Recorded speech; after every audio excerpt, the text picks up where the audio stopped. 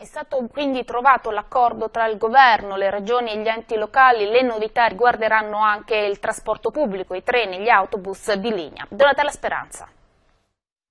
Il primo punto dell'accordo riguarda il numero dei posti utilizzabili, non più il 50 come previsto inizialmente, ma l'80%.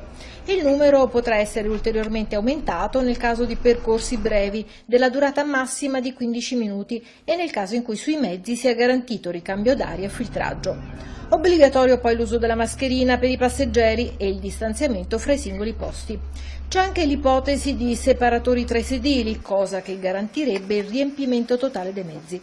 Il Ministero dei Trasporti sta lavorando a un accordo con l'INAIL per individuare il materiale idoneo per lastre divisorie, ma anche le aziende di trasporto potranno suggerire dei separatori purché questi abbiano la certificazione sanitaria del Ministero stesso. Su autobus e treni dovranno inoltre essere installati appositi dispenser con soluzioni disinfettanti, anche in maniera graduale e a partire dai mezzi più affollati. Per far fronte alle nuove spese, alle regioni e agli enti locali verranno stanziati fondi per 350 milioni.